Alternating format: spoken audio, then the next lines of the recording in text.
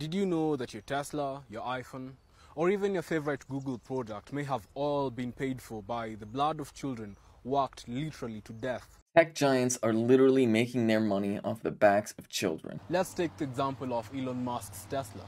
The richest man in the world now needs 6,000 tons of cobalt from the southeastern Katanga region of the DRC. That's four times as much as Tesla used in 2019.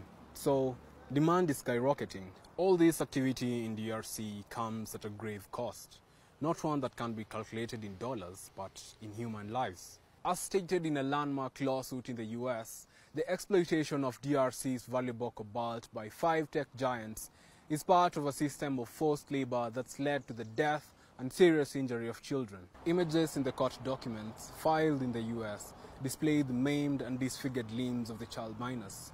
Tunnel collapses and unsafe work conditions have been cited as the reasons for this tragic reality. The children are paid as little as $1.50 a day, working six days a week, often driven by poverty, quitting school to work the mines. As Siddharth Kara, a researcher on modern slavery notes, I've never encountered or documented a more severe asymmetry in the allocation of income between the top of the supply chain and the bottom. So once again, Africa's riches are its curse, and that, no doubt, is what needs to change first. So this TikTok by African Stream points out the harsh reality that many of these giant tech companies, these incredibly wealthy individuals, some of the richest people on the planet Earth like Elon Musk, are quite literally making their profits at the expense of literal children in cobalt mines, particularly in the Democratic Republic of Congo. Now there's a lot to say about this because of course we have to mention the United States and other countries' history of colonialism.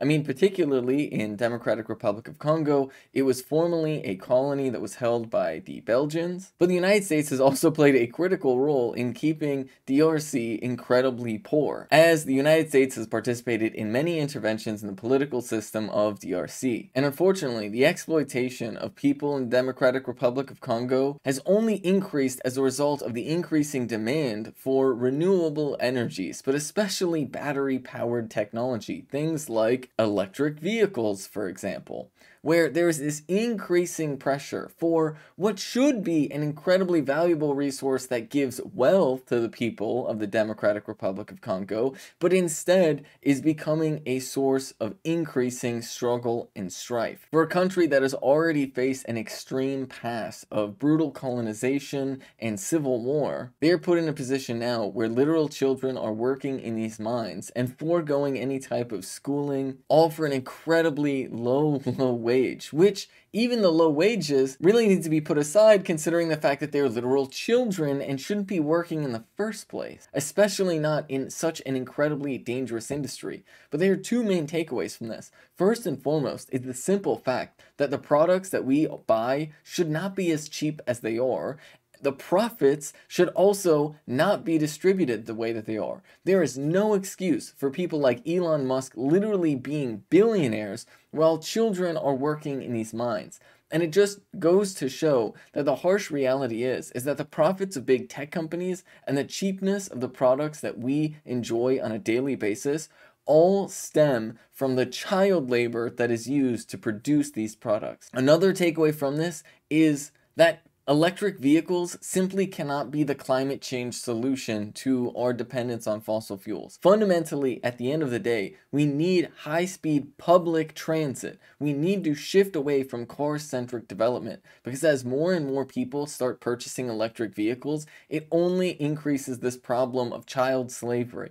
This is why it is so critical to look at the development model of countries like China that have emphasized high-speed rail as opposed to car-centric development. Because car-centric development, unfortunately, has incredibly brutal consequences around the world. First, with a history of warfare in order to control the supply and demand of oil, but now going forward, it will be increasingly centered around the supply of cobalt. And the people that lose out the most in this are in theory the people who should be benefiting the most. If we have an increased demand for cobalt, the countries that have been the victim of colonization, which have cobalt, should be the main people profiting from the value of it. And that we should have a climate policy that centers empowering people in countries that have been the victim of colonialism and actually trying to make reparations for the extreme amount of harm committed by the United States and other major Western powers. But until that happens,